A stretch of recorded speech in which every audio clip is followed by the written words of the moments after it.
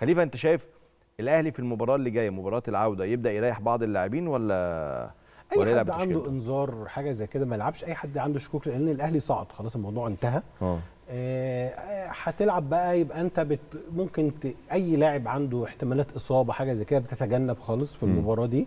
والنقطة الثانية أي حد طبعا موقفه يبقى فيه إنذار حاجة زي كده بتريحه برضه صح. عشان ما يغيبش عن ويكون تعليماتك للعيبة نفسها ما تاخدش إنذارات في اللقاء ده علشان ما يجيش ياخد إنذار في اللقاء الأول بتاع صن داونز فيغيب خالص عن النهائي صحيح. يعني هي دي هم المفروض ثلاثة يتعاملوا- دلوقتي ثلاث. إنذارات صحيح يعني الران ممكن. الران ثلاثة تمام يبقى اثنين لعيبة اثنين لعيبة واخدين كل لعيبة واخد انذار آه، اليو ديانج وح- وحسين الشحات يتجنبهم وحسين تماما وهاني ما يلعبوش حمدي هو. اللي لو خد انذار هيغيب عن خصوصا. إن لعيبة الأهلي متوفرة هاي. كتير. والمباراة المباراة مش مش شبه منتهية المباراة انتهت. الصعود اتحسم يعني. كابتن محمد أنت قلت لي الأهلي خد البطولة طبعا صح كده طبعا طيب ياخد البطولة على حساب سان داونز ولا الوداد لا سان داونز خلاص وانت شايف كمان سان داونز آه، صعد آه آه. النهارده أنا قاعد متابع المباراة سان داونز فرقة كبيرة قوي آه يعني بيلعبوا النهارده الوداد في ملعبه يعني ما وبيلعبوا 10 كمان مش الشوط الأولاني. صحيح. فما- طب انت أنت, مش أنت توقعك مش فني أنت توقعك سيناريوهات الكورة. آه سيناريو كورة. لأن وفني كمان. لا فنيا كمان فرقه سان داونز من آه. لا أنا بقول لك فني بكلمك على إن الأهلي لا. يكسب صن داونز بما إن صن داونز. فرقة جامدة. أنا بكلمك بقى السؤال بقى هنا أنت فني؟ أنا معلش أنا خدت السؤال ده الأهلي. عودنا في النهائيات